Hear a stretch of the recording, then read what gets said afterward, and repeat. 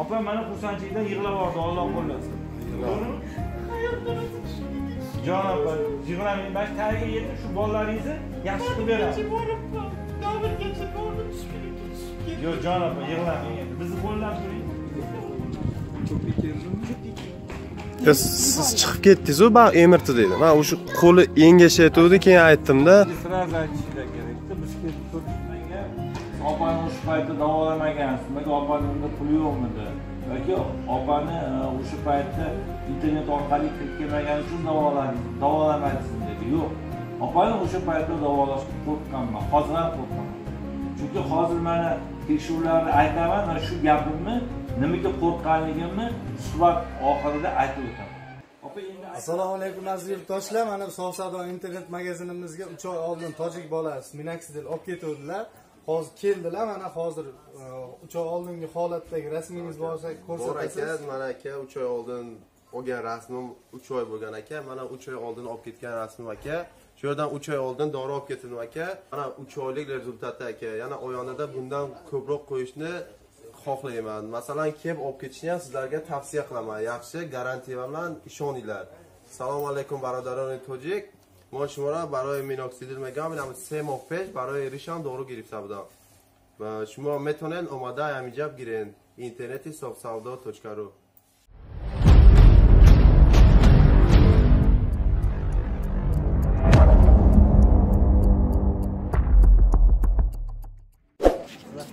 Hani bir. Lampochkalarni olib kelgan assalomu alaykum. Opa yaxshimisiz? O'zingmisiz charchamang o'limni olib kelyapsizmi? Voy maladi juda chiroyli bola ekan. Qani ko'rishaylikchi? Chas qilsinchi qani qani qani. Bo'lmasa hozir olib tushib ketdik opa. Birinchimizdan so'rab olaman. Bugun sudurga berdim bermadim?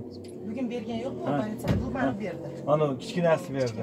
Nima men mana bolangizni nima deydi katta bolangizni bundan kattaroq kichkinasi shuncha deb o'ylar ekanman bu yerda ko'rsam ancha kichkina bola ekan kichik nima demak sudurga bugun bergan yo'q kecha bergan. kecha berdi. Bugun dorilarni ichganmi bugun ovqat yedimi yemadimi? Yedi. Hop, mana bu narsa umuman mumkin emas sudurga aytibdi bular tabiiy soklar hisoblanmaydi. Internet orqali aytib qo'yib bu yerda tam narkotiklari bo'ladi e o'ttiz ikki e o'ttiz to'rt degan narsalar bo'ladi. Bular kuchli konservantlar hisoblanadi. E, shuning uchun bu sun'iy e, nima hisoblanadi? O'zi mana tetrapak dunyoda bitta davlat ishlab chiqaradi. Tetrapak deb mana tetrapak bu fransiyani firmasiniki mana shu qog'ozini o'zi taxminan bir dollar turadi. Endi tasavvur qiling buni ichidagi suyuqlik qancha bo'ladi? Bu anaqa a, ikki lamchi siriodan emas ikki lamchi xomashyodan emas birlamchi xomashyodan kelib chiqadi shuning uchun bu qimmat turadi bu paket. A, endi shuning uchun buni ichidagi suyuqlik e, endi uzr tetrapak meni kompaniyasi meni yomonga olmasin so- сочинение lekin bu sog'lom odamlar uchun. Lekin buyrak kasal bo'lsa oshqozon osti bezi kasal bo'lsa va ichaklari kasal bo'lsa buni iste'mol qilmagan ma'qul. Endi miyasi kasal odamga albatta ta'sir qiladi. Nimaga desangiz tana bir butun sistema. Jigar e, miya jigarda buyrakda ichakda ustida turgani uchun darrov ta'sir qiladi. Keyin man internetdan bilaman bu siyishga qiynaladi nima qilib qolyapti deyapti. Ya'ni yashirin buyrak yetishmovchiligi bor. Yashirin buyrak yetishmovchiligi bo'lganda demak bu narsalar albatta problemaga chiqadi. Shuning uchun har safar aytaman e, yashashni ham siri bor. Parhez dori darmondan ko'ra kuchliroq ta'sir qiladi. Parhez dori darmondan ko'ra kuchli. Shuning uchun har bir kasallikda o'z parhezi bor. O'sib kelayotgan avlod uchun sog'lom organizm uchun bu yaxshi. Lekin bemor organizm uchun bu mumkin emas. Shuning uchun ko'pchilik bemorlarimiz mehribonchilik qilib bemorlarga shunaqa narsa olib kelsam aytaman o'y bunaqa qilmanglar bu nihoyatda zaharli narsalar. Shuning uchun agar haqiqatda qilaman desangiz kompot olib keling yoki buni sokini chiqarib bering deb aytaman. Endi mana bu narsalarda ham mumkin emas deyman. Nimaga desangiz buni tarkibida buni chiroyli qilish uchun maxsus transgen yog'lar qo'shiladi. Transgen yog'lar tanadan chiqib ketmaydi. Endi inson qaraganda qarish jarayonida tanada qon tomirlarida lipidlar ko'payadi. Xolesterin e, blyashkalari deymiz xolesterin toshlari e, burtmalari ko'payadi. Mana shular shunga olib keladi. E, o'sha transgen yog'lar nimadan kelib chiqadi? Transgen yog'lar bu margarin. Ya'ni oddiygina o'sha e, yeyilmagan hayvon yog'lariga demak o'sha texsiz texnik yog'lar to'yintirib e, nima o'sha e, yog' kislotalari tarkibi o'zgartiriladi. Va inson tanasi hazm qila olmaydigan yog' kislotalari qo'shiladi. Shunda o'sha yog' kislotalari qo'shilganda bular chiroyli shaklga kiradi. Chiroyli shaklga kirish uchun butun dunyo konditer tizimi konditer ishlab chiqarish shundan qo'llaniladi. Shuning uchun chet mamlakatlarda yevropa standartlarida taqiqlangan hisoblanadi. Shuning uchun sog'lom odamlar yeyishi mumkin juda kam miqdorda. Lekin bemorlar uchun xudo yaratgan ovqatlar inson yaratgan ovqatlardan nariroq yurish kerak. Shifolanish hozirdan boshlandi. Turmush darsidan qanday yashasang shunday kasal bo'lasan allohim hammaga shifo bersin. Qarang mana shu yerdan qadam bosib kiryapti. Qa- qadamlari shifo shifo yo'llari bo'lsin shifosini yetsin shu opamni ham niyatlariga erishtirsin youtube ahli qo'llasin butun xalqimiz qo'llasin. Blogerlarni ham biz shifokorlarni ham bemorlarimizni ham. Allohu akbar. Ketdik bo'lmasa endi ketaver so'kavermaysizlar a qani qizlarim olinglar demak kichkinasi ham kichkinasi ham bor Kelim ya Ke Muhammad Siddiq man o'zim olaymi? manga kelasan? Ke. Ayasi ko'tarib.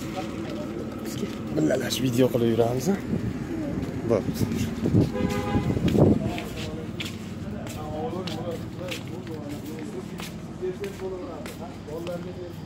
Akam kirib ketishdimi?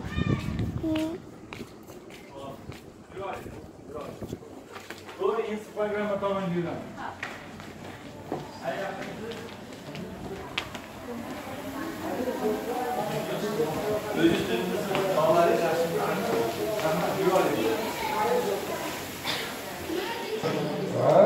nima? A- opam bunday bo'ladi. Hozir men e, aytamadim dedingmi aytaveraymi o'tiring bolalarni oldida Keling, ayiz bilan o'tirib. Mana bu svetlamda yonadi O'tiring aka. qani boshqa O'tiring.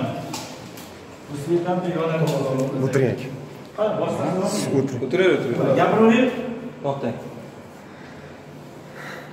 bugun hozir mana tez tibbiy yordam avtomashinasidan to'g'ri yerga kirib keldik bu yerda elektroensefalogramma qilamiz nima uchun to'g'ri yerga kirib keldik chunki bugun bemorimizda talvasaga tayyorgarlik darajasi qanchaligini aniqlab olib turib keyin boshqa tekshiruvlarga qilaylik degan niyatda shu yerga olib keldik chunki mana bugun xudoga shukur ertalabdan beri shukur bermabdi kecha bergan ekan.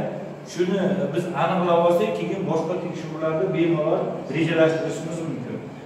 Shuning uchun hozir mana bitta bemorimiz bor ekan. Shu bemorimizdan keyin darhol mana katta yigitimizni insfogramma qilamiz. Keyin kichkinasini insfogramma qilamiz. Endi ertalab ovqatlangan ekan bular. Shuning uchun ovqatlangan bo'lsa ham shu ruxsat etilgan tekshirish usullarimiz bor qon tahlillarini olamiz. Undan keyin kerakli rejali tekshiruvlarni qilib endi bitta gap ochiq oydin hamma tahlilni qilamiz qo'limizdan keladigani keladi deymiz kelmaydigani kelmaydi deymiz. Opamni ham to'liq tekshiruv qilamiz. U o'lchamiz oti nima edi Muhammad Aziz.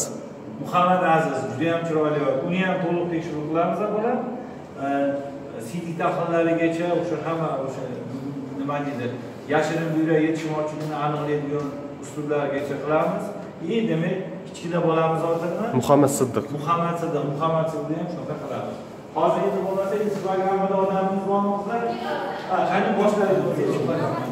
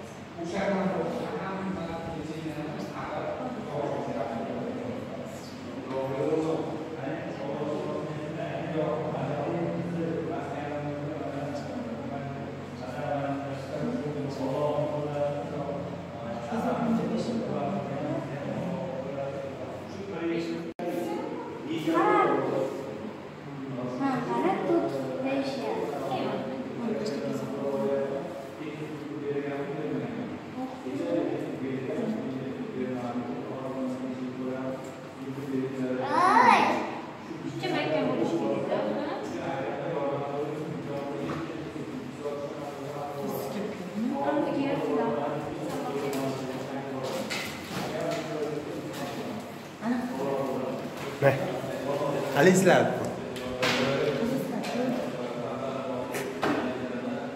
Qaraysizlar, bering. boshi urib qo'ymasin qiyinchilar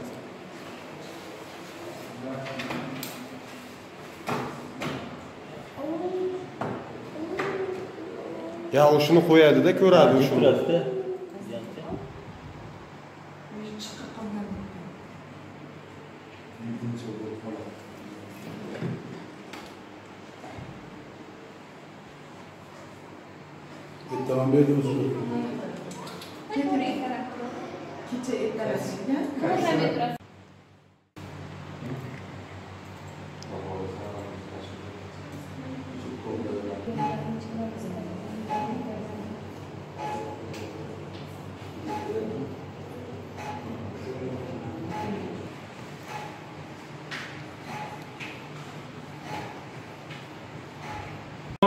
atay qilmayapti og'riq bor.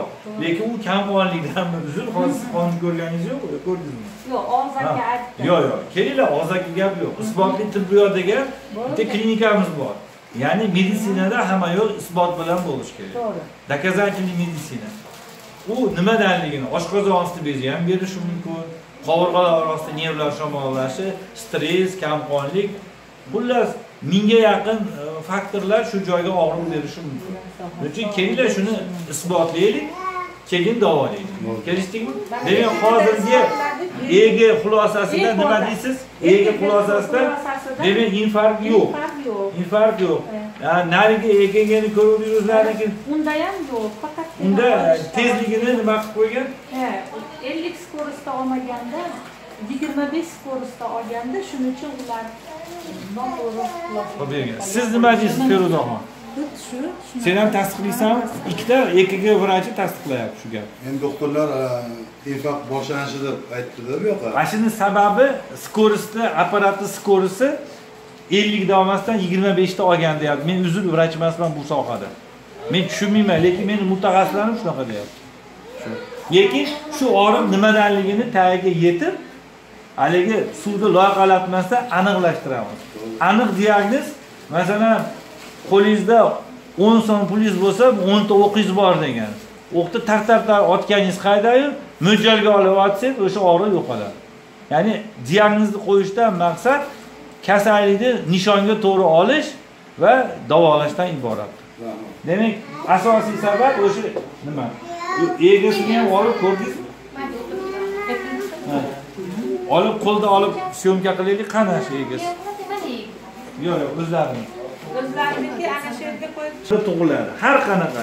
Kasallik to'g'risida ham jamiyat to'g'risida ham hatto uyda ham xotin bola chaqa nima deydi sporlashtirib haqiqatda tug'diramiz. Biz ham birovlardan o'rganamiz. Birovlar ham bizdan o'rgansin. Birovni ayblashmas birovni nima qilishmas demak bu yerda biz nima deb o'ylaysiz opajon tahlil qiling ko'rsating qanday bildingiz mayerda yozib qo'ygan yigirma besh millimetr sekund deb ellik millimetr sekundda olmadi o'n millimetr voltda sen ham shu fikrdamisan feruzaxon karimova vrachimiz ham shu ovozingiz chiqsin Передний stenka degan передний stenkada esti izoliniyada turibdi t положительный turibdi agarda infarkt oldi holati bo'lganda estilarda o'zgarish bo'lib pastga tushib tlar отрицательный bo'lar edi Ko'rsatib shu qo'lingizni положительный turibdi. Shuning uchun men infarktni отрицат qilyapman. Передний stenka mana birinchi qo'y. T положительный esti e, izoliniyada turibdi. Endi buni e, birinchi отведенияni mana tasdiqlaydigan nimamiz bor? E, avielimiz bor. Avielda ham hech qanaqa отрицательный tlar nima ko'r ini keyin yana bular hozir e, mana avielda ham unaqa отрицательный t yo'q stlar izoliniyada turibdi. Agar birinchida bo'lsa bu ikkinchi ham tasdiqlash kerak edi. Birinchida mana t положительный st izoliniya avielda ham unaqa holat yo'q. Mana задний stenkada ham st на izoliniya t положительный и avf takrorlash kerak avfda ham bir xil. Faqatgina bu yerda haligi kichik yigirma besh millisekundda olgani uchun taxikardiya bo'lib chiqibdi to'rt qirqda qani pulsni bir yuz elliktaga o'xshab chiqibdi. Endi mana грудной отведенияларga kelganimizda ham грудной отведенияларда tlar положительный stlar на izoliniyada bo'lyapti. Shunaqa nima shuning uchun men e, infarktni отрицать qildim. Infarktni inkor qildingiz. Infarktni inkor qildim men. Ho'p mana endi sen ham bir og'iz gapirib qo'ying. Iltimos feruzaxon karimova Ha, bir og'iz ko'rinmayman deysizlar mana ruchkada ko'rsatib aytib qo'ying. Ayting. Hozir shu opam aytgan tasdiqlaymanda yo'q hozir infarkt yo'q. Lekin hozir endi mana ellikni olib ko'rdik ehoda ham tasdiqlab qo'yamiz. E, sen bunini sen o'qiding xulosasini sen berdingmi? Ha, nima bo'ldi bu yerda normal yetmish to'rtda uryapti 74 ta uryapti standart. Nimalari ham normal standart ko'rinishda hozir Alloh shifosini bersin. Opa mana birinchi xursandchilik infarkt yo'q ekansizda, lekin bu degani kasallik yo'q degani emas. Kasallik bor, lekin infarkt hayotga xavf tug'diruvchi holat bo'lgani uchun shundan e, chiqib ketdik. Endi o'sha holat nimadanligini aniqlashimiz qoldi. Bu o'sha e, ko'krak sohasidagi og'riq nimadan? Hozir mana o'zingiz qilib ko'rasiz. Ko'krak bezlarini bezlarigacha qilasiz. Bezlari ham berishi mumkin. Va ko'kragini tomografiya qilamiz. Opa mana xursandchilikdan yig'lab yubordi, Alloh qo'llasin. Jon opa, yig'lamang. Mana tagiga yetib shu bolalaringizni yaxshi qilib beramiz. Yo'q, jon opa, yig'lamang endi. Bizni qo'llab turing. Bizni qo'llab turing. Mana harakat qilyapmiz. Kelinglar, davrga boshlaymiz. borib aytganmanki davrga borib man borib ko'rganman infarkt degan sizda hech qanaqa infarkt bo'lishi mumkin emas uni ruhiy holatingiz bolalaringizni kasalligi tufayli shunaqa bo'lishi mumkin sizda hani biz ekigida isbotlab berdikda mana ha, lekin xudo xolasa yaxshi qilib beramiz. Siqilmasangiz. kardionevroz ko'proq kardionevroz bo'lishi Kardionevroz bo'ladi. Uni ham isbotlaydigan, ha, uni ham isbotlaydigan apparatimiz bor. Uni ham hozir e, tahlilni qilganimiz yo'q. Endi boshqa bemorlar bilan ham men band bo'lib qoldim. Xullas, shu opani sog'lom qilib chiqaramiz. Bu bolalarni e, diagnozini aniq qo'yib, qayerda qanaqa yo'nalish bo'lsa qilamiz. Lekin iltimos Dubaxida mana shu akamiz ketib qolmay tursin. Bizda tez tibbiy yordamga imkoniyatimiz yo'q. Bolalar diagnozini aniq qo'yib olaylik. Bunga 4-5 soat vaqt ketadi. Chunki bu bemorlarni anchadan beri kuzatib turgan ekan akamiz. Bizda bu bilimimiz yo'q hozir. Alloh shifosini bersin. Chin yurakdan harakat qilamiz. Maqsad shularni shifosini topish. Tamom. Alloh qo'llasin. So'kmaysiz aka. Da opani rejimmaslik boshlaylar. Qanaqa? turdi.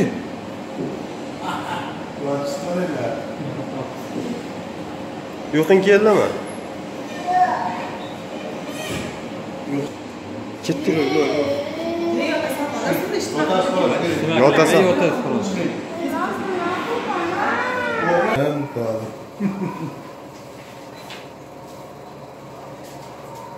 Bular xulosasini ham olamizda. Bular xulosasini ham olamiz.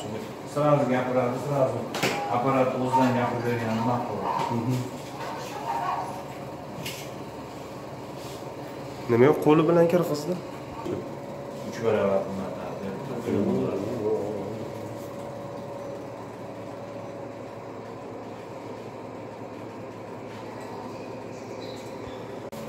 mana e, nima shu bo'ynidan shu orqa peshovgacha bo'lgan tana a'zolarini demak biz emsketa qildik e, muhammad aziznikini katta o'g'ilnikini e, shuning uchun mana hozir doktor ko'ryapti e, buyrak faoliyatini da anatomik o'zgarishlar bo'lsa yurakni vazifasidagi muammolarni aniqlash uchun zarurat bo'lsa ekskavator urografiya qilamiz zarurat yo'q bo'lsa buni qilmaymiz. Hozir doktorni fikrini kutyapmiz? Mana doktor a, prямой efirda ochiq oyda tilida mulohaza qiladi. Ya'ni ichida o'ylamasdan tilida o'ylab bizga fikr aytadi. Как вы думаете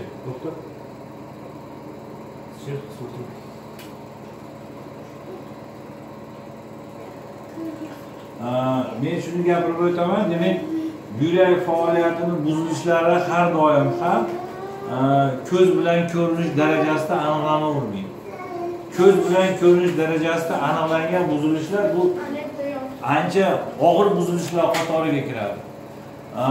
Yashirin buzilishlar dastlabki buzilishlar darrov tomografiyada aniq bo'lmaydi. Shuning uchun agar tomografiyada aniq bo'lmadi tomografiyada sog' degani bu bemor sog' degani emas. Shu ko'z bilan ko'rish darajasida insonni tana a'zolarida hali kasallik aniqlanmadi degani xolos. Shuning uchun e, bu yerda e, tomografiya tekshiruvlari sog' degani sog' ekan degani emas. Shuning uchun youtube ahli bizni to'g'ri tushuninglar. Lekin shuni ham baribir biz aniqlab e, shu tekshirishga majburmiz.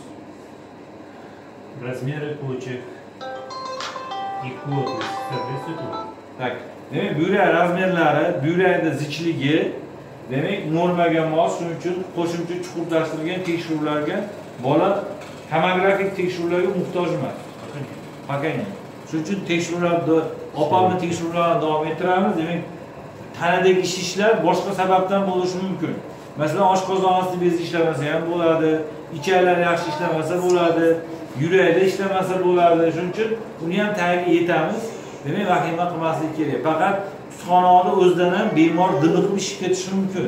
Bu kasallik yo'q degani emas. Просто buyrak faoliyatida muammo yo'q degani shuning uchun bu mukammal tekshiruv deyiladi. Alloh shifosini bersin opa siz tekshirishni boshlaymiz. Hozir qon analiz topshiruviga kirdik. Qon tahlili olinadi endi biz videomizga bu narsa taalluqli bo'lmaganligi uchun qon tahlilini xulosasini eshitamiz.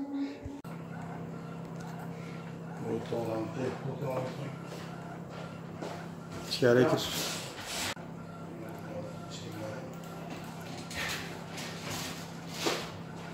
eshik olib kerakda Ha. mana anvar akam oxunov tv assalomu alaykum aka sizga rahmat aytolmadimi endi. Mana rahmat aytib qo'yay. Aka rahmat shunchalik. Mana shukurullo jaliyevni oldiga olib kelib aka. Videolar boshida ham bir aytib qo'yganman yo'lda kelayotganimizda ham bir o'zingizga ham bir. Ko'ra hurmatli obunachilar mana oxunov tv kanalini agar bizda endi boshida ko'pchiliklar gai mavzusida qo'yganmiz o'shanga gai mavzusini ko'proq tomosha qiladigan insonlar ham yig'ilib qolgan bo'lishi mumkin. Yaqinda mana yaxshi ishlar boshladik. Mana shu akamizni kanaliga ham o'tib bir qo'llab quvvatlab oxunov tv kanalini anvarjon oxunov kanali ham bor yana bitta. Uni ham kirib bekaka tvda obunachisimiz deb kommentariyada izoh qoldirib bitta layk bosib qo'ysangiz sizlardan minnatdor bo'lamiz. Assalomu alaykum yaqinlarim. Yaxshimisizlar qanjalaringiz sog'mi endi bizni ko'proq musofirda yurganlar ko'radi musofirchiliklar qiynalib yurishlarni mana hozir bek katta ukamiz bilan marg'ilonlik oilani olib keldik. Qo'l tekshiruvlarni o'tkazyapmiz hozir mana emirtis qoldi emirtis chiqqandan keyin. Boshqa odam man gapirmayaptim emirtis chiqqandan keyin polni tekshiruvlar chiqqandan keyin xudo xohlasa shukurlar jalilov doktor akamiz o'zi xulosalari aytadi nima bo'lgan nima qo'ygan? Bu ikkita janchamiz nima qiynayapti? Shunchadan beri mana bir yildan oshiqdirki больницаdan больница videoni oxirida e, to'liq tarzda shukurlar jalilov o'zlari aytadilar. Rahmat aka. Ayzi tekshiryaptida to'g'rimi manchi tushunmaymanmi deyapti sizga mumkin emas ekan hali yosh ekansiz. Yo baribir yosh ekanda mumkin emas ekan. Mumkin emas ekan. Ha. Mumkin emas deyapti. Tushasizmi tushmaysizmi? Tushgingiz kelyaptimi? Muhammad aziz uxlab qolgan ekanda o'sha anvar aka. Bo'ldi bo'ldi bo'ldi bo'ldi bo'ldi. Bo'ldi ayaz tushib olsin ayaz tushib hoppa ha mana tepaga hoppa. Ha hoppa. Uvol qilmanglar nonni deb qo'y. Mana kameraga qarab aytib qo'y. Uvol qilmanglar nonni deb qo'y. Nonda boqmaylar. gunoh bo'ladi to'g'rimi? Nuvoz bo'ladi. ha joningga shakarim yer bergan yo'q qo'li nima bo'lgan ekan? Sudumizni ko'rsam suvga qarab turib donani o'zimiz предварительно orqa peshvoga sibazon nima qilib qo'yish lozim endi nima? Qoladilar bugundan qancha erta bo'lsa shuncha narsani olib kelib olay ekan ekan telefon qilasiz olib kelib berishadi hozir nima qilaylik? borib seshanba kuni bu bolalar yana benzer yana lecheniyadan keyin kelishingiz kerak bo'ladi hozir yaxshiligida boshqaligida. Jajabang qancha ketadi masalan? bir kunda olsa misol uchun ikki kubik oladi yoki to'rt kubik oladi. O'zi qo'lda o'sha nimalar borku? Sizlarda shu alisher borku. Animatorda mana ashlar misol test o'sha nimadagilar reanimatsiyadagilar bilishadi. Sebazolni vaqti kelsa ko'rib chaqiravermaydimanda o'zim. O'zim qo'limdan keladi shunday orqa peshobga berib qo'yaveraman o'zim holatiga qarab turib beraman katta o'g'lim bir kun bir olsa sakkiz oladi Mana turini bilib olsam, уже men bu problemani yechaman. Turini bilmasam yecholmayman. Endi ochilmaydi. hozir bo'diri O'tiring.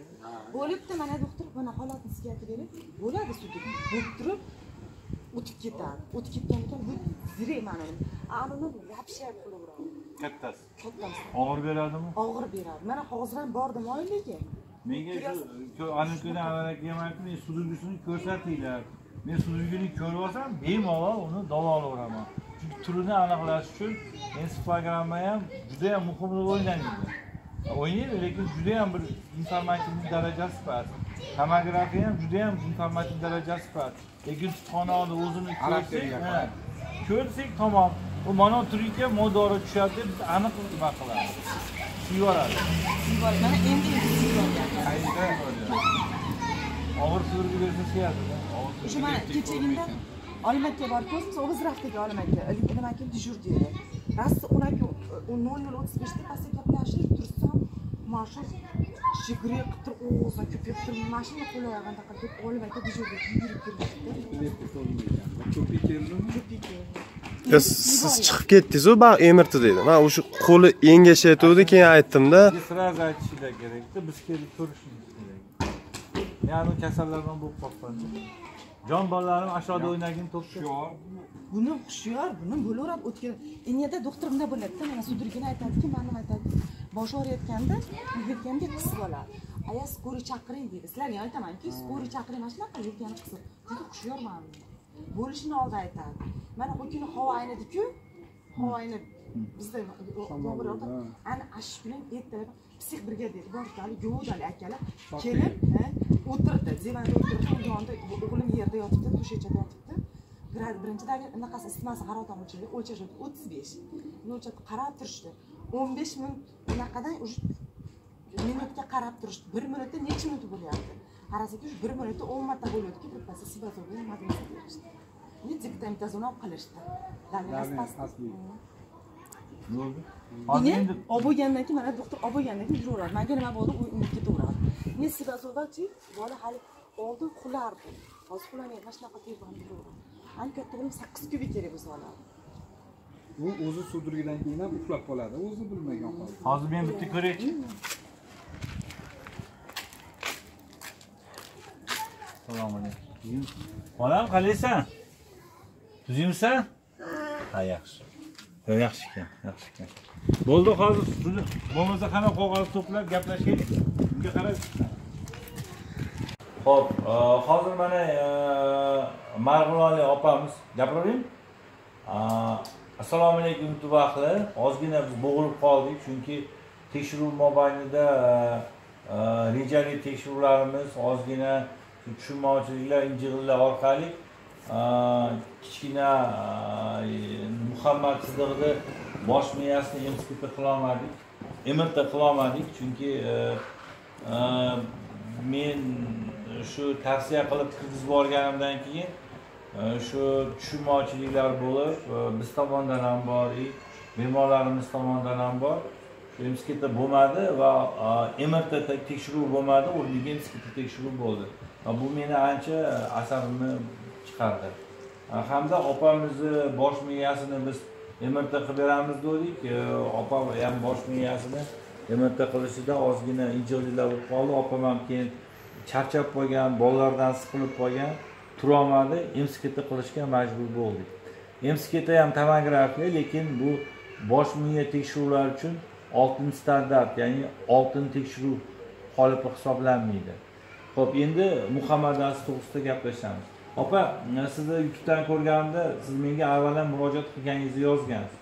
Men taxminan aytdim bir bir yarim yillar avval murojaat qilgansiz to'g'rimi? Ho'p e, bir yarim yillar avval murojaat qilgan opam menga men hozir opam o'zidan ham bu gaplarni eshitaman. Bugun mana hamma mukammal tekshiruvlar qildik. Maqsad shu opani bolalarini davolash shu opaga maksimalniy yordam berish hamma narsani shaffof va ochiq o'yin qilish e, va e, opamga qo'limizdan kelgan yordamni berish xudo xudodan tilab hamda youtube ahlidan maksimalniy shu opani qo'llash. Chunki opa kasalliklarni chigal joyiga cho'kib qolgan. Kasalliklar shunaqa chigal chigal bo'lib ketganki opam shunga shuning uchun shu kasalliklarni haqiqiy va haqiqiy emas emasliklarini e, tekshiruvdan o'tkazib isbotlab biz o'zimizni fikrimizni aytish. Albatta boshqa shifokorlarni fikri boshqacha bo'lishi ham mumkin. Va shu bilan qo'limizdan kelgancha opaga yordam berish. Xo'p, opa birinchi marotaba menga qachon siz e, murojaat qilgansiz? Ikki yildan o'tdi kelgan kelib ko'rinib ketgan bolalaringizni olib kelganmidingiz? Bolalarimni olib kelganman shu nazichenniy yozib bergansiz. Shu bo'lib sudirga bo'lib toshkentga ketgan sankiga men e, eslay olmayman bolalaringizni olib kelmagansiz yo'q olib o'g'lim kichkina o'g'lim bir yashar bir yashardan o'tuvdi bir yashardan o'tuvdi biz uni ko'rib tekshirganmiz tomografiyalar qilganmiz yo'q tomografiya qilmagan. Qilmagan. Man o'zim ensiflogramma ham qilmagan? Yo'q qilmagan. Xulosalarim bor olib kelib xulosalarimni olib kelganman men aniq eslayman opam o'sha paytda kelganda opam mana shu aniq kuni internetda qo'ygan nimani ko'rdim xuddi shunaqa aytgan opam shunaqa sibazon orqa peshoviga ikki kubikdan e, to'rt kubikmi olti kubik sibazon kattasi и konveksi ko'rina oladi degan degandan keyin opa bu jiddiy davolanish buni jiddiy tekshiruvlar qilish kerak dedimda bu yerda keyin unga bir yarim yilcha bo'ldi keyin man opam hozir eslayapti men chiroyli qilib opamga tushuntirib hali aytdingiz siz menga leksiya o'qib bergansiz dedi. Shu kasallik to'g'risida. To'g'rimi kasallik to'g'risida. Opamga shu ilmiy tilda va oddiy tilda leksiya o'qib berganman. Shunda keyin a, opamni kasalligi jiddiyligini va o'ta kuchli dorilar olayotganligini aytib opamga ogohlantirib bu jiddiy tekshiruvlarga muhtoj deganman va shu davo- davolanish usullaringizni davom ettirib turavering deb aytganman lekin yozma birorta bir tavsiyalar qilmaganman. Chunki internetdan shunaqa savol bo'lyaptiki nimaga? Siz opani o'sha paytda davolamagansiz nimaga opani unda puli yo'qmidi? Yoki opani e, o'sha paytda internet orqali kirib kelmagani uchun davoladingiz davolamadingizmi dedi. Yo'q. Opani o'sha paytda davolashga qo'rqqanman hozir ham qo'rqaman chunki hozir mana tekshiruvlarni aytaman va shu gapimni nimaga qo'rqqanligimni suhbat oxirida aytib o'taman. Opa endi ayting mana muhammad aziz to'g'risida. Muhammad aziz birinchi marotaba qachon kasal bo'lgan? Yetti kunligida demak yigirma bir kun reanimatsiyada yotgan. Shunaqami keyin boshida har kuni bir ikki martadan sug'urgi bergan. O'sha yetti kunligida. Keyinchi? Ko'payib ketgan. Keyin ko'payib ketgan. Hmm. kuniga besh olti martadan shu yetti kunligidan hozirgi yoshga uzluksiz beradimi beradi dram. hop nima dorilar berasiz Hamma dorilar tavsiya qilganmiz. Bor? berayotgan. Karvaliz ichyapti. Karvaliz ikki olyapti. karmelik bilan karmelik besh kubidan o'n kubik kalmeks olyapti bir kunda Bir kunda. endi besh kubikdan o'n kubik kanuleks olsa kanuleksni nechi pulga olasiz mana shu imkoni boricha olaveraman. Bola mana shunday yaxshi yuradi. Nechi pul puli? Ha pulimi? Ikki yuz o'n besh mingdan ikki yuz yigirma ming. Har xil narx misol uchun mana atsakaga kirsangiz bu atsakada yo'q bo'lsa sizda. Boshqa atsakada справочныйga qilib turib buyurib berishadi. O'sha atsakaga boring ekan opa. ikki yuz ellik ming ikki yuz yetmish minggacha ikki yuz sakson besh minggacha olganman. Kanuleksni tabletka varianti bor Endi- sirop varianti bor ho'p spirtoviy eritma varianti bor. Nimaga u variantlardan foydalandingiz ellikligidan boshlanganman ellikligini berganman uch yuzligini berganman besh yuzligini uch yuzligini ham siropini ham berganman ham kapsulasini ham berganman Ee, demoqchimanki e, e, ba'zi bir odamlarda kanuleks e, oshqozon ichak tizimida so'rilmasligi mumkin. Chunki o'zimizda bemorlarimizda bo'ladi kapsulani ichsa orqa peshovidan doktor deydi xuddi shu kapsula butun tushyapti. Deydi shu paytlarda e, siropiga yoki spirtli eritmalariga demak e, almashtirib beriladi. Spirtli eritmalar almashtirib beriladi shu surilishi yuqori bo'lishi uchun. Lekin e, shunaqa nima deydi ukol holatida doimiy ukol olib turishini endi ko'rish masalan necha yildan beri doimiy ukol olasiz bir yildan beri. Bir yildan ortiq yo'q bir yildan oshiq chunki men eslayman menga kelgan paytingizda kamlek ukol oladi va sibazon orqa peshoviga oladi bitta o'g'lim ikki kubik to'rt kubik nariginisi olti sakkiz kubik oladi deb ana shuni aytganingizga bir yarim yil bo'ldi shekilli. Demak ikki yildan beri intervenni oladi endi bu juda katta pulda. Bir oylik dori bir oylik dori darmoni to'rt yarim millionga to'xtalyapti. To'rt yarim million endi hozir masalan e, biz e, hozir o'rganib chiqib xulosa qilamiz. Hech bo'lmaganda davolamagan taqdirimizda ham opamga shu kuniga ikki yuz ming so'mlik emas yigirma ming so'mlik dori ketadigan holatga tushirib bera olishimiz ham mumkin bo'ladi.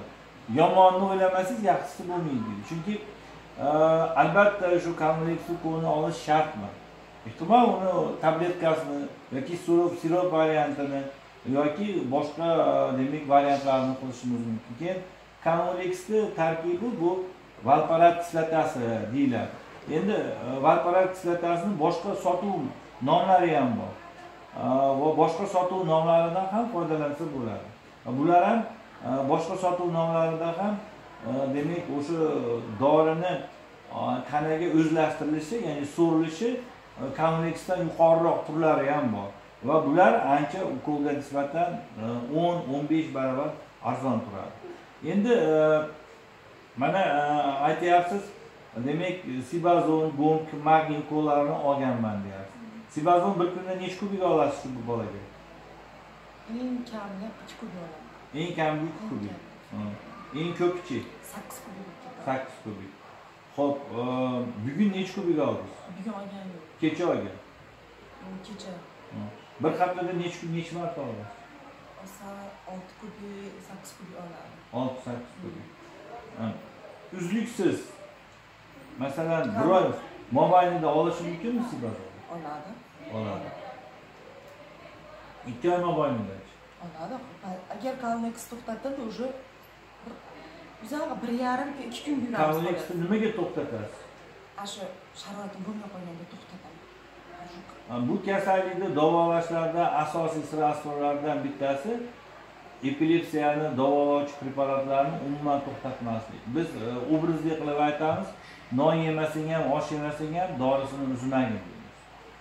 Demak o'sha kompleksni ukoli yo'q bo'lganda hech bo'lmasa o'sha siroplaridan yoki spirtoviy rastvoridan berib turish kerak bo'lardi. Chunki ular o'n barobar yoki yigirma barobar arzon turadi. Masalan e, bir e, nimasi uch yuz ming tursa e, bir anaqasi u. Tarkibida menimcha oltmish dona bo'lsa opam olayotgan dozada u o'ttiz kunga yetishi mumkin. O'ttiz kunga yetishi mumkin. Endi shuning uchun bu yerda aytmoqchi bo'lgan fikrim asosiy muammolardan bittasi demak shu kommunikativ qo'yishni hisobiga demak bolaga sibozon qilishga majbur bo'lamiz. Ho'p endi gum gum preparatichi ham o'sha bo'lsa gum qilishadi ko'p qilishadimi masalan haftada necha marta olishi mumkin haftada ikki marta uch marta olishi mumkin nima natriy oksigultrat oyda nimachi endi buni boshqacha nomi shuni so'rayapman ola- olganmisiz yo'q olmagan Pramidol olgan shekilli olgan qo'shgan qilgan endi korteksin aktivin ukollarni tez tez olib turadi oladi ham oladi Pirasitam ko'p oladi Pirasitam kechaga mana shu shu yotishdan oldi oldi Mm. A, yana qanaqa dorilar oladi o'sha quvvatiga itoat qilishadi quvvat ko'p qo'shadi. Xo'p, endi tekshiruvlarimiz xulosasi bilan aytib o'tsam. Man opamni mana hozir demak Muhammad Azizda e, su- sudurgilari uzluksiz bo'lganda chunki mana Xudoga shukrki bu o'g'lida Muhammad Azizda demak yurak paruglari yo'q ekan.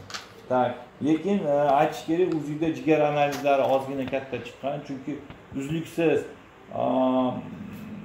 uzluksiz e, sibazon, gumik va konvulex preparatlarini olish albatta jigar e, deb razmerlarini biroz kattalashishiga olib kelgan lekin bular davolanish mobaynida yo'qolib ketishi mumkin bo'lgan o'zgarishlar. Shuning uchun opamdan va youtube ahlidan bu to'g'risida ortiqcha qayg'urmasliklarini e, iltimos qilib qolaman. Xudo xohlasa muhammad aziz e, jigar o'zidagi uzidagi bergan jigar nimalari xavfli emas. Lekin gipotomegaliya deb o'zi yozib beryapti. Endi yana bu tekshiruv chuqurlashtiriladi. Gipotomegaliya asoslari faqat shu bu iste'mol qilayotgan dorilarmi yoki viruslar bormi? Buni tekshirish uchun qon qon tahlillarini viruslarga jo'natamiz. Gepatit b c d bo'yicha o'zimiz klinikamizni tahlil o'tkazib beramiz opam. Opam juda charchadi juda charchadi. Endi muhammad aziz e, muammolari. To'p. Qorin bo'shlig'ini imsketda qildirganimizda muhammad azizda. Qorin bo'shlig'ida imsketda tekshiruvlarida buyrakda e, siydik yo'llarida e, siydik xaltasida e, hamda boshqa parenxima tana a'zolarida jigaridan tashqari hech qanday muammolar aniqlanmadi. Demak hamma holat yaxshi chiqdi. Demak muhammad aziz ichki tana a'zolari demak jigaridan tashqari sog' jigarda biroz razmerlar kattalashgan boshqa muammo topmadi. Endi ko'krak qafasini tekshirganimizda muhammad azizni xudoga shukur muhammad azizni ko'krak qafasida ham jiddiy muammolarni biz ko'rib topolmadik endi muhammad azizni bosh miyasi to'g'risida gap ketyapti. Muhammad azizni bosh miyasi to'g'risida ketganda demak bu yerda mana bosh miyani men ko'rinish uchun mana shunday qilib aytaman mana burun yo'llari va bir tomonlama bu yerda mana e, nima gaymariy pazuxada e, gaymariy pazuxa devorlariga e, yopishqoq shamollash alomatlari turibdi. Пристаничный gaymarit deydi buni. Bu aniq turibdi. Endi bizda xulosa nima berilyapti? Xulosada признаки malformatsiya arnolda kiari первого типа с эктопией миндалин мажичка большое затылочное отверстие первой степени, МРТ признаки умеренной субатрофии передних отделов височных областей больших полушарий головного мозга, косвенные МРТ признаки умеренной внутричерепной гипертензии, МРТ признаки гипоплазии левого поперечного венозного синуса, МРТ признаки гиперплазии цистических оболочек этмоидальных гаймариевых пазух, гиперплазии цистических оболочек нижних носовых раковин degan xulosani beryapti. Endi mana uni rasmlarini ko'rsatsam mana o'sha giperplaziya слизистые оболочки e, gaymaroviy pazuh ko'rsatyapti endi mana e, kiari sindromi to'g'risida gapirsam endi e, kiari sindromi qanaqa sindrom? Kiari sindromi bu jiddiy sindrom. Kiari sindromida bosh miyada bu boshqa bemorlarniki bemorlarga tushunish uchun aytaman.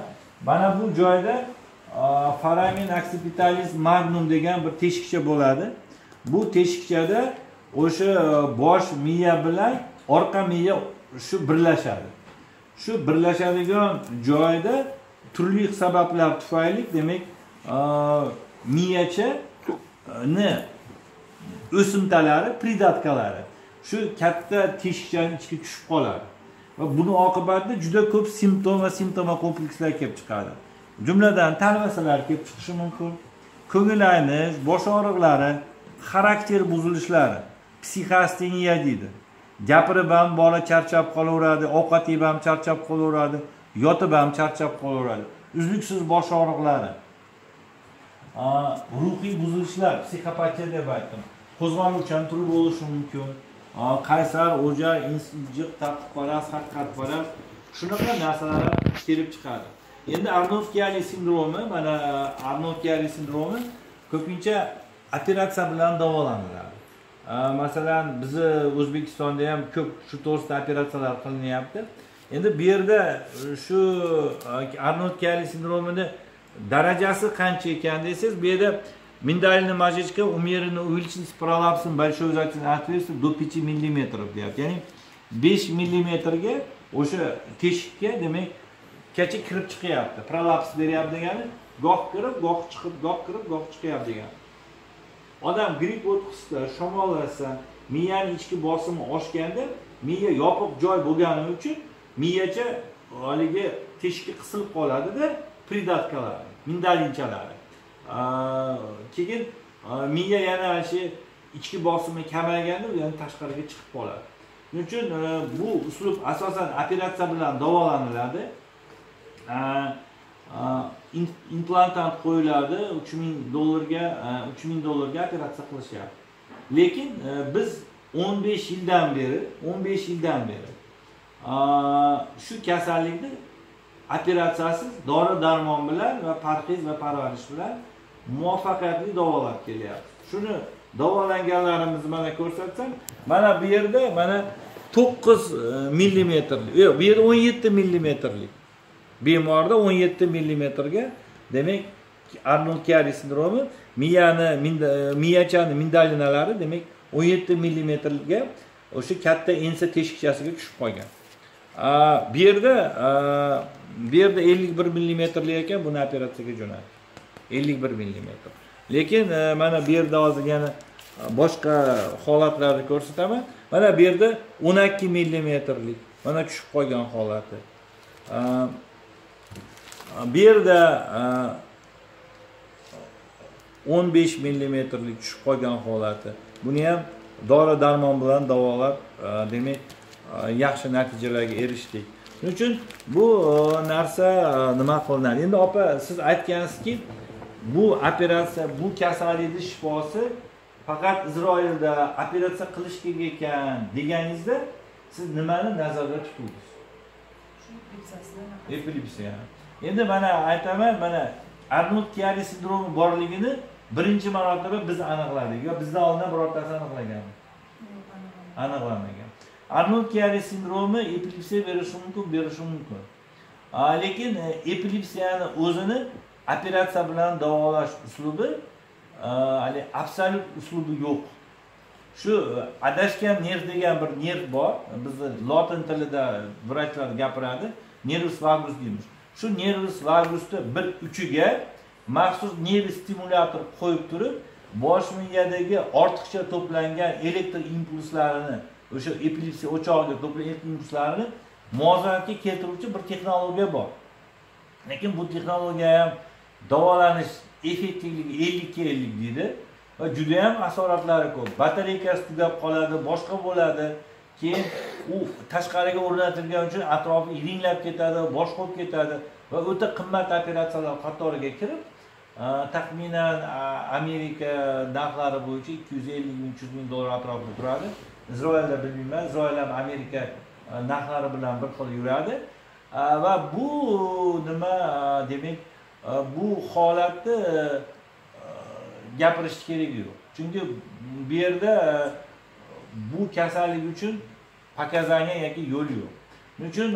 Hozir e, endi e, nimani muhammad aziz to'g'risida gapirsam muhammad azizga men psixiatr narkologman men e, shu bolangizni kelajagi va qizig'i uchun qiziqsam opa oddiy va sodda qilib aytsam bolani epilepsiyasini davolash kerak. Buning uchun arnold kiari sindromini davolash kerak.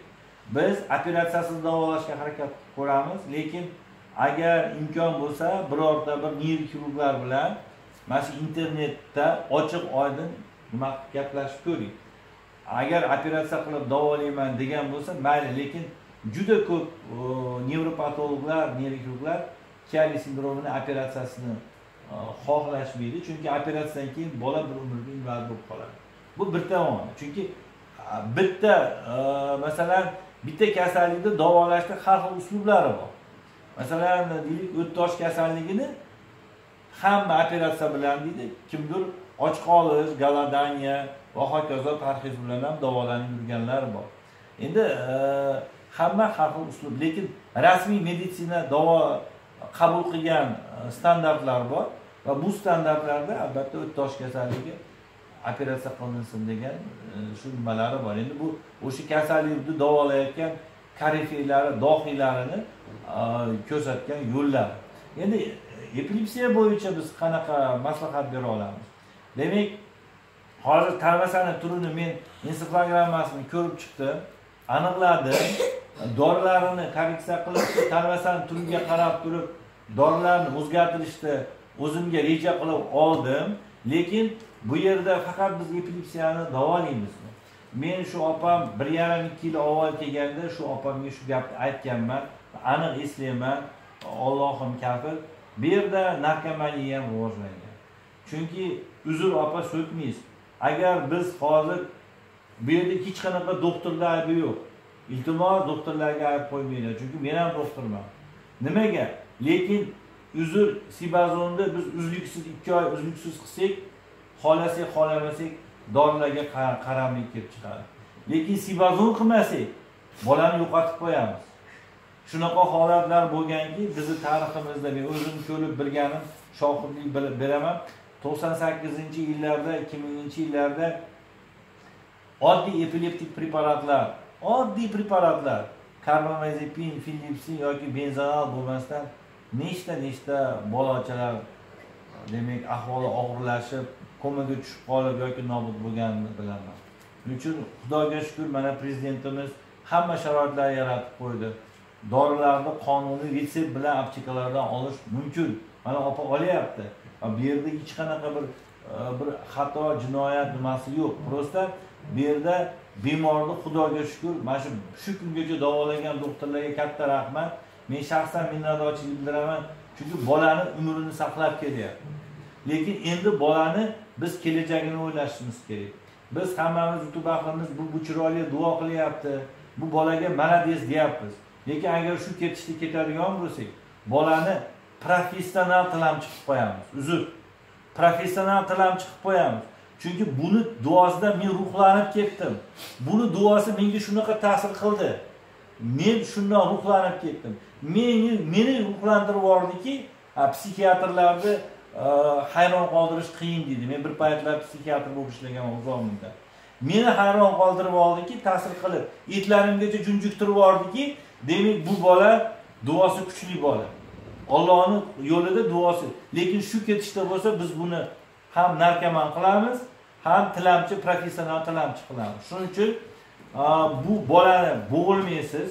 Seshanba kuni men youtube ahliga xudo xohlasa harakatni va'dani beraman. Shu bola bilan shug'ullanib beraman. Lekin bitta narsa tushuntirib qo'yay bu yerda isroilga olib boradigan operatsiya qiladigan narsani men ko'rmayapman uzr. Sizga shuni kim aytgan toshkentda qanaqa vrach aytgan? Aytishdi shu bo'lmasdan shu bir xil narsa iloji yo'q manga yordam beringlar doktor doktorlar ruscha gaplashyapti man ruschani bilmayman. Izrailga olib shu holatda deyapti bittasi yaxshi bo'ldi. Suyuqlik bo'yicha nima ikkita bolaman qayoqqa boraman to'g'ri to'g'ri o'sha xalqdan yordam so'rab chiqdim men opani o'zini ham kasallari bor ekan men buni aniqladim. Hali opam qoladi. Chunki juda ko'p kasalliklari bor ekan. Lekin yana aytaman infarkt emas ekan xudoga shukur. Uni hozir aytaman. Shuning uchun mana muhammad aziz to'g'risida shu xulosalarga keldim. Demak hozir muhammad azizda arnold kiyari sindromi epilepsiya hamda narkomaniyaga qarshi davolaymiz endi bitta narsada bola xarakteri shunaqa xalq narkomaniyada epilepsiyada xarakter buzilishi degan kasalliklar borda. Bolani xarakteri bu bahor ob havosida bir qarasangiz kulib chiroyli shunaqa xushchaqchaq xuddi haligi kinoga suratga oladigan boladaqa a lekin bunday syomkadan tashqarida ko'raylik. Onasini qiynab yuboryapti o'ta qaysar o'jar injiq o'zi aytganini qildiradi va bu kasallik alomatlari. Chunki men ko'rib gaplashdim и videodan ko'rganimda ham nimaga aytdim? Men tahlil qilib aytdimki bu yerda narkomaniya уже rivojlanib qolgan. Va bu ikkinchi bosqich atrofida kelyapti. Mendan boshqa mutaxassislar ham gaplashib ko'rsin. Agar ishonmasanglar gaplashib ko'ringlar suhbat uyushtiringlar. Chunki bu yerda lekin bu dorilarni tezda riski uzib bo'lmaydi. Uzsa bolani hayotiga xavf tug'diradi. Shuning uchun iltimos shu o'sha seshanba kuni ham o'sha dorilarni olib kelinglar. Keyin qolgan dorilarni men yozib beraman retseptdan aptekadan olib kelasizlar yotishlari to'liq bepul chiroyli qilib men bepul qilib davolab beraman. Endi gap muhammad siddiqqa kelyapti. Muhammad siddiqda nima muammo topdik men e, siqilib qolib mana hozir ertalab soat o'n birda kelgan bo'lsanglar hozir soat yetti yarim sakkizga ketyapti. E, shu muhammad siddiqda tomografiya magnitli rezonans tomografiya qilolmadik bu yerda ozgina turli tuman bir birimizni tushunmaslik va injiqliklar bo'lib qoldi. Va bu yerda ham arnold kiari sindromi kelib chiqdi. Demak bunda ham arnold kiari sindromi bor shuning uchun e, bu e, masala ham shunga ketyapti endi muhammad sidiqda yana boshqa bir e, muammo kelib chiqdi jiddiy emas bu yerda spina bifidasi bor ekan spina bifidani ham birgalikda qo'shib davolab beramiz. Lekin spina bifidaga bog'liq bo'lgan klinik namoyonchalikni men ko'rmadim. Spina bifidani klinik e, yaqqol ko'rinishlarda siydik usholmaslik tungi suyib qo'yishlar va o'sha kichik chanoq tana a'zolarini faoliyatini buzilishi oyoqda uchlariga kuch nerv kuchini yetib bormaslik holatlari va boshqa bir qator muammolar kelib chiqishi kuzatilar edi xudoga shukur yo'q ekan lekin e, birinchi ikkinchi uchinchi to'rtinchi e, nima demak u sakralis vertebra sakralis o'zbekchasiga dumg'aza deyiladi. E, o'ylanib qolganimni o'zbekchaga перевод qilishga qiynalib qoldim. Shu joylarda spina bifida alomatlari aniqlandi. Demak e, e, ko'krak qafasidan hech qanaqa muammolar kelib chiqmadi. Ko'krak qafasida demak boshqa tana a'zolarida muhammad azizda ham muammo kelib chiqmadi. Endi muhammad sidiqda muhammad sidiq to'g'risida gaplashsak muhammad sidiq xudoga shukur unchalik ko'p sibaza olmaydi ekan faqat kubik oladi xolos. Lekin kunda oladimi ham kunda kunora oladi. Kunda kunora oladi. Hozir ichayotgan dorisi u ham karbamazepin kanulix keyin u ko'proq e, perrektum olar ekan ya'ni orqa peshoviga oladi. Shunaqa? per tomirga emas endi e, bitta narsa sizlarga tushuntirib qo'yaman. Narkomaniya sibazon orqali narkomaniya rivojlanishida dorini qanday iste'mol qilishi ham muhim rol o'ynaydi.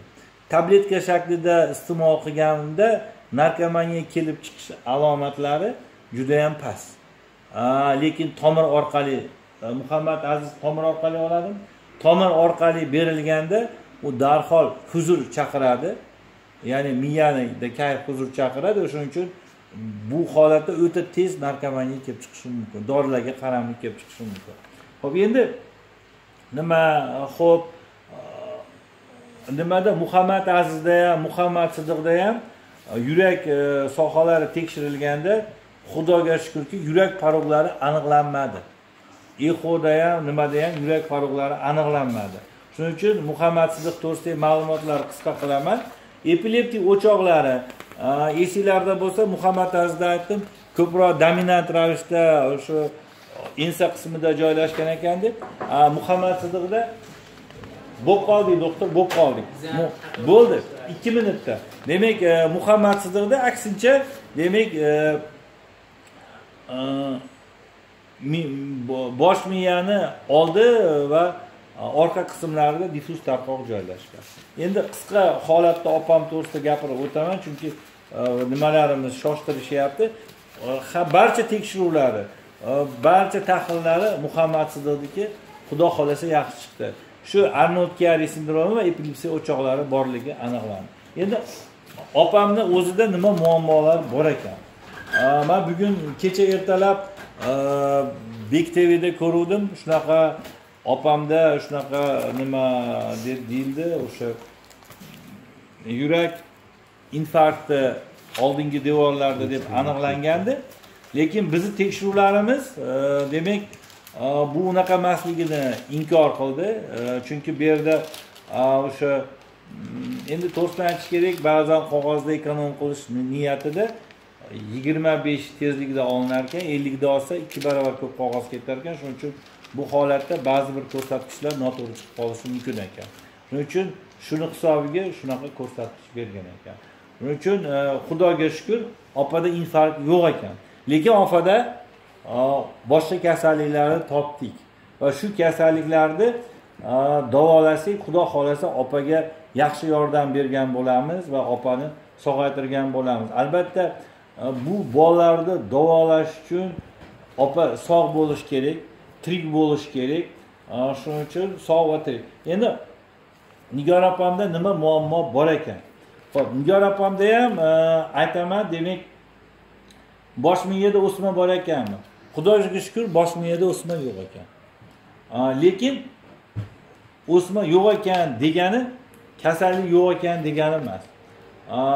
Opada nima o'zgarishlar bor ekan? Shuni nimada o'qib beraman demak МСКТ – признаки субатрофии передних отделов височных областей большого полушария головного мозга с умеренной асимметричной вентрикуломегалией и перевентрикулярной лейкоэнцефалопатией. МСКТ – признаки малформации альнордикиария первого типа с эктапией миндальной мозжечка большой затылочной отверстие первой степени. Значит, opada ham arnold kiari nimasi bor endi e, nima deydi demak bu otadan bolalarga onadan bolalarga shu e, nima deydi bosh m- miya ostidagi miyachani e, shu mm, foramen occipitalis magnum ya'ni ensa teshikchasiga past joylashuvi demak o'tgan ekan. E, o'tgan ekan. Faqat opaniki bu yerda bor yo'g'i to'rt millimetr atrofida prolaps beryapti. E, demak bu bu ham o'zi kasallikka kiradi. Endi bitta narsa aytish kerak bu zolotoy standart emas mrt qilaylik desam opam chidolmayman dedi. Mrtda bu ehtimol besh olti chiqishi ham mumkin. Chunki mrt bilan mskitni e, razmerlari bir ikki millimetrga farq qiladi. E, buni men mana mrt mskitni ko'rdim. Aynan bir xil bo'lmaydi. Ba'zan shuning uchun ham mrt золотой standart deyiladi. Endi nima bor ekan opada? Opada miyasida rakka tenglashtirilgan e, jarayon ya'ni paraventrikulyarniy leykoensefalopatiya bor bu miyani oq moddasini yemirilishi deydi. Mana bu yerda miyani mana e, qorinchalarini ko'ryapmiz. Miya qorinchalari mana. Miya qorinchalari atrofida mana oq yemirilish uchastkalari ko'rinyapti. Mana shu narsa bor ekan. Buni davolasa bo'ladimi? Hozirgi kun dori darmonlar bilan farmakoterapiya davolash texnologiyasida yaxshi davolasa bo'ladi. Va bu yerda hech qanaqa opada miyasida o'sma yo'q. Va buning uchun opani bosh miyasidan ukol qilish keragi yo'q.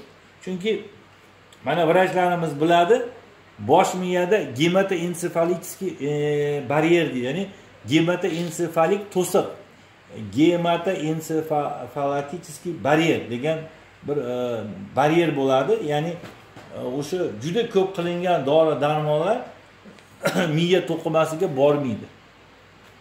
Ayniqsa bu yerdan qilingan boshdek qilingani bormaydi ba'zi bir moddalar bo'lishi mumkin. Lekin bu alohida hamkasblar uchun aytiladigan gap. Lekin tomirdan qilinganlari borishi mumkin. Yana bir qismi boradi bir qismi bormaydi. Shuning uchun opani e, bu holatini yaxshi davolab xudo xohlasa natija ola olamiz. Endi ikkinchi masala. Opa mana yozyapti demak o'sha infarkt bo'ldingiz demak infarktni opadan inkor qildik. Bosh miya o'smasi bor deyishganda uni ham inkor qildik. Opada bosh miya o'smasi yo'q. Endi xotirasi past. Uzr opamni yoshda xotira pasayishi bilan kechadigan jiddiy kasalliklar bo'lmaydi. Ellik ikki yoshdan keyin bo'lishi mumkin. Shuning uchun opamni xotirasi pastligi xotirasini to'lib qolgani butun vujudi bilan mana shu bolani sog'lig'i uchun kurashyapti. Shuning uchun xotira to'lib qolganda kundalik voqealar nima bo'lib qolaveradi lekin ensefalopatiya xotira pasayishini berishi mumkinmi? Qisman lekin judayam kam miqdorda. Shuning uchun bu yerda e, e, kam foiz demoqchiman. Shuning uchun boshi og'rishi boshini orqa tomoni ko'p qusadi xotirasi past uyqusi yaxshi emas yuragi siqiladi qo'rquv vahimasi bor.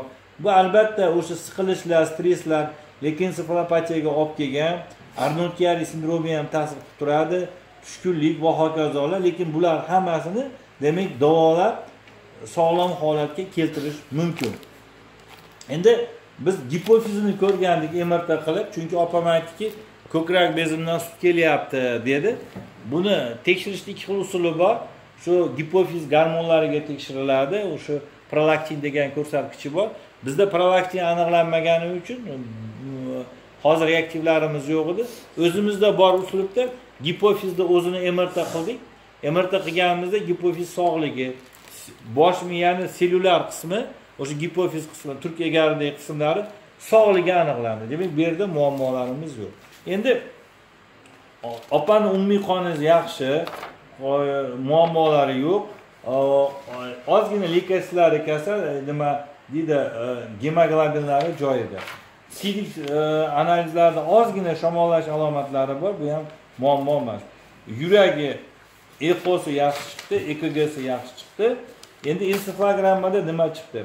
Ensefalogramma ko'rsatkichlarida shu opada e, kuchli stresslar borligi yuqori e, isbotlovchi beta to'lqinlarni demak o'ta yuqori foizlarda demak mavjudligi aniqlandi. Endi opani e, ko'krak qafasini emskita qilganimizda chunki opam aytdiki ko'kragimda atrofida og'riq bor dedi. Shu og'riq bor degandan keyin biz ko'krak qafasini emskita qilganimizda faqat e, surunkali bronxitni borligi aniqlandi lekin shu ko'krak qafasi og'riqqa yana tekshiruvlar o'tkazamiz sut bezlarini tekshiramiz. Endi seshanba kuni kelganda e, og'riqni o'zini ta'mini xarakterini surishtirib chiqamiz. Bugun ulgurmadik shanba e, mana e, shanba kuni nima desam bo'ladi? Qisqa kun. Endi qorin bo'shlig'ida ammo bir qator muammolar kelib chiqdi. O'qib beraman. Mskta признаки умеренной гепатомегалии хронического застойного холецистита mskta признаки дистапии правой почки kistozniy образование левой почки deb beryapti ya'ni aytib beraman shu e, o'ng buyrak o'ng buyrak bir oz o'z joyida joylashmagan ekan. Shuning uchun e, pasayib qolgan o'ng buyrak pasayib qolgan. Distopiya deb beradi. Endi chap buyrakda uncha razmeri katta bo'lmagan o'n ikki o'n bir va o'n to'rt millimetrlik uchta razmeri plotnisi o'n bir единицalik e, o'n bir birlikka teng bo'lgan. Demak kista bor ekan chap buyrakchasida endi e, man urologlar bo'lsa biladi kistalar e, bir ikki santimetrli kistalar xavfsiz hisoblanib yosh o'tgan sari qarilik mobaynida e, shu buyrak atroflarida paydo bo'ladi. Bu o'sha narsa yo'qolib ketmaydi lekin kattalashib ham ketmasligi uchun zarur choralarni ko'ramiz. O'sha hali boshida aytdik kola fanta morojno qovun torg'izdi suyakli narsalarni achchiqni kamroq yesa qurtagan ishi yo'q bo'lsa kunda ichi kelib tursa o'sha buyrakni faoliyati uchun tejamkor turmush tarziga rioya qilsa bu kista rivojlanmaydi. Qachon u kistalar o'n uch o'n to'rt santimetrdan yuqori bo'lib ketsa va bemorni bezovta qilsa demak u maxsus uslubda demak shpritsda tortib olinadi va hokazo o'zini e, urologlar biladigan uslublari mavjud. Yordam ko'rsatadigan. Shuning uchun bu sohada ham opamga yordam ko'rsatamiz. Xudo xohlasa opamni ham kulib turadigan nima qilamiz endi u hurmatli youtube ahli qisqa qilib aytaman. Opamni bolalarida jiddiy kasalliklar bor. To'g'ri tushuninglar. Opam vrach emas. Opam vrach emas. Shuning uchun e, opamni e, endi ayol kishi hamma narsaga e, mantiqan emas obrazli his tuyg'uli ayollar his tuyg'usi bilan o'ylaydi o'ylanadi. Shuning uchun ba'zi narsalarni bo'rttirib olib his tuyg'ulari bilan qabul qilishi mumkin. Erkaklar ozgina sovuqqonlik bilan haligi mantiq bilan tahlil qiladi. Shuning uchun e, iltimos e, opamga yordam beraylik. Birinchisi sizlar qo'llab turinglar. Shu bolalarni sog' salomat qilib vatanga xalqqa xizmat qiladigan qilib qaytara olsak mana shu muhammad azimdan muhammad sodiqni sizlarni yutug'inglar. Shuning uchun birinchi meni va boshqa vrachlarni iltimos tanqid qilmaylik chunki vrachlarni ishi juda jafoli ish. O'zi ba'zan haligi qasam ichgansan bepul xizmat qilishing kerak. O'zi qasam hammamiz ichamiz. Birovni haqqiga xiyonat qilmaylik deb. Lekin bittasiga kelib bir qarashib olgin desangiz paloncha pul deydi.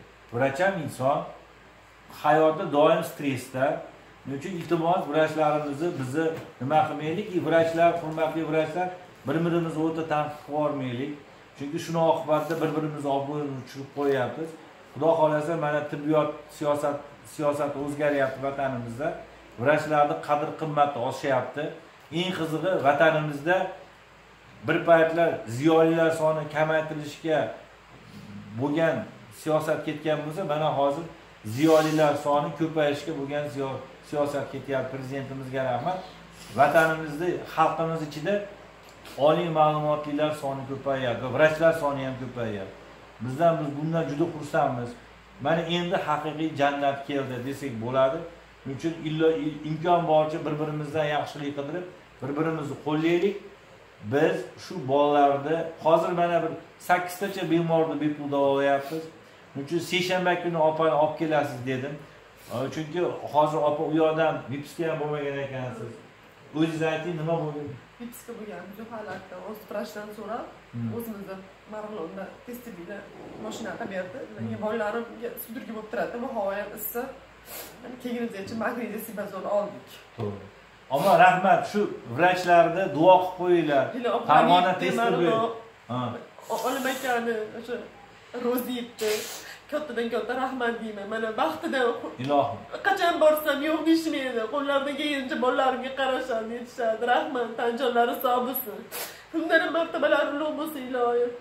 Butun blogerlar men shaxsan va butun youtube ahli shu vrachlarimizga duo qilib shularga minnatdorchilik bildirib qo'yinglar iltimos. Chunki bu oson emas oson emas mana prezidentimiz aytyapti xalq norozi bo'lmasin deb shu rahbarlik lavozimida tibbiyotda rahbarlik lavozimida ishlayotgan hamkasblarimizga oson emas ertalab besh yarimda turyapti kechqurun o'n ikki yarim birda yotyapti. O'shanda ham uyqusida tinchlik yo'q.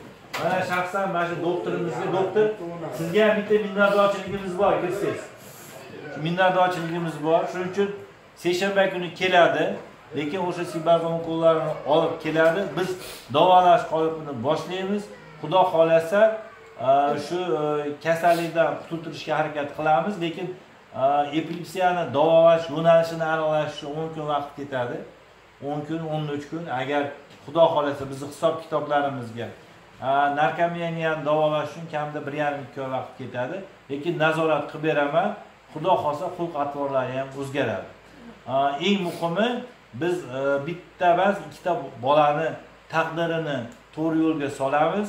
Va opamga haqiqiy yordam bergan bo'lamiz. Chunki e, berilayotgan yordamlar adreslik nishonga to'g'ri borish kerak. Shuning uchun nishonga to'g'ri borishga harakat qilishimiz kerak. Endi yashashni ham siri bor bitta sir biror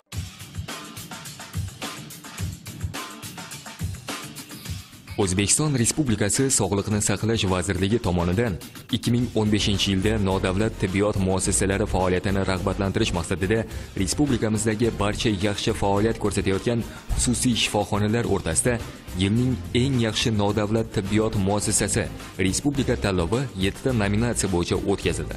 Tanlovning eng yaxshi statsionar sharoitni tashkil etgan nodavlat tibbiyot muassasasi nominatsiyasida andijon shahridagi sog'lom turmush klinikasi munosib ishtirok etib respublika bosqichida faxrli ikkinchi o'rinni qo'lga kiritdi.